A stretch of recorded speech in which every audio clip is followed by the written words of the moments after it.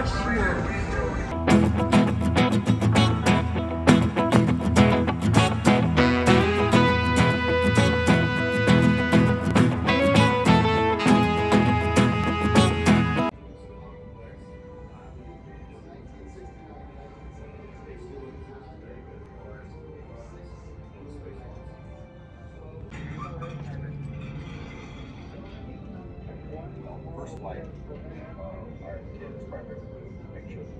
that I would want to do there.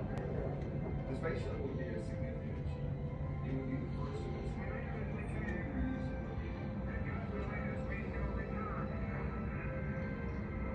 of its separate functions, but you can do essentially both by hanging on right here and doing number one and number two.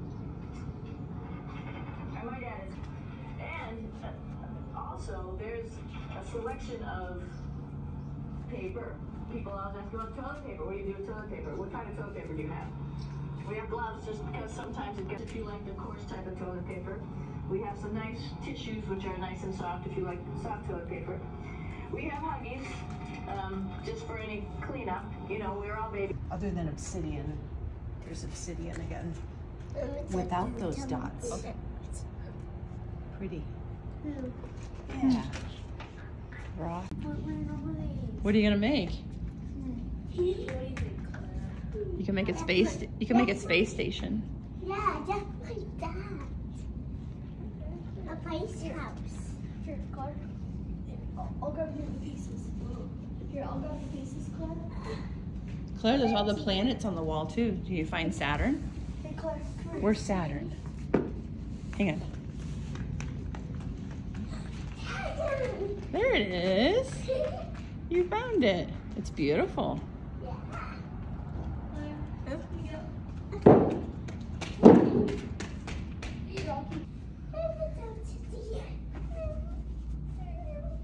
Aw, cute house, guys.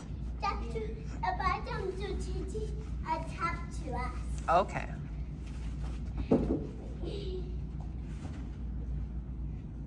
Alright. So, nice and off. And over here. Oh, wow. Okay. So you get a bunch of rainbows all around the light bulb, right? I will show you what that looks like. Turn the light back off for a minute. It's a bit hard to see with the lights on. See what it looks like. What is this first?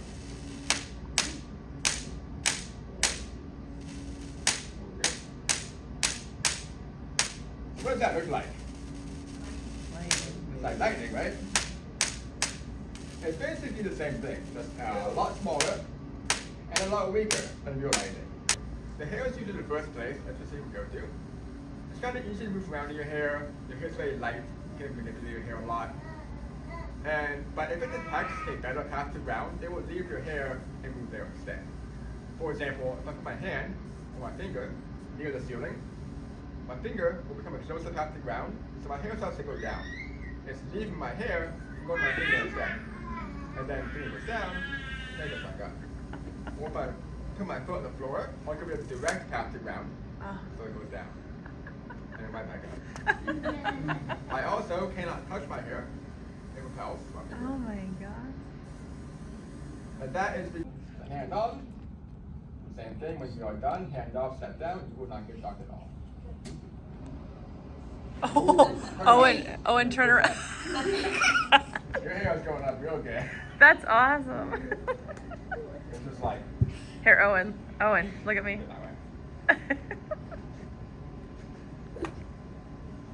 That's so You really, you really feel it by going all knee to the ground. So it's got a pretty long path right now it has to take to get to the ground. I can let it get there a bit faster. If I move my left hand closer to the passing ball, I'll give it a quicker path to ground, so the section's off. Because now there's no need to go to my right hand. My left hand gets it there faster. So it only goes really as far as whichever hand is closest. Yeah, the more you you can move it around. And it makes your hands look really cool. It's cool. Lots of different stuff to color. And the gift shop.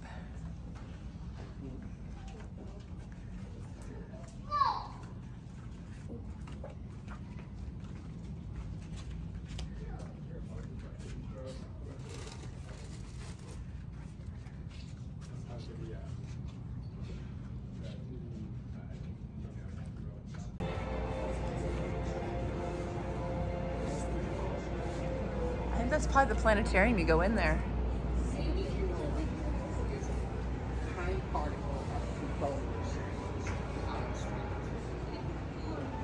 Hang on. What? Oh, that's cool.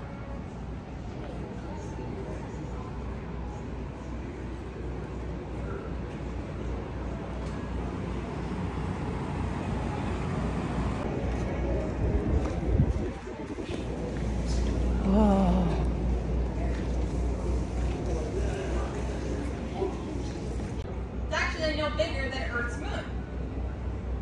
One side of Mercury is incredibly hot. Inside the face of the sun, of course. Can get as hot as over 800 degrees Fahrenheit. And the dark side can get as cold as negative 200 degrees Fahrenheit. Maybe. But right now Saturn holds the crown. Saturn, of course, is mostly known for its rings. They're made up of what we call space debris. It includes dust, rocks, and ice. Most of the ice actually comes from its one of its moons. Let's get this over this way. Over there. Enceladus on the left.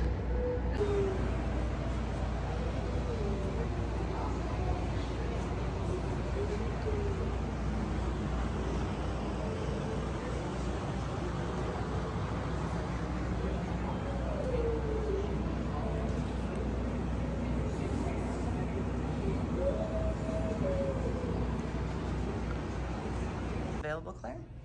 Okay.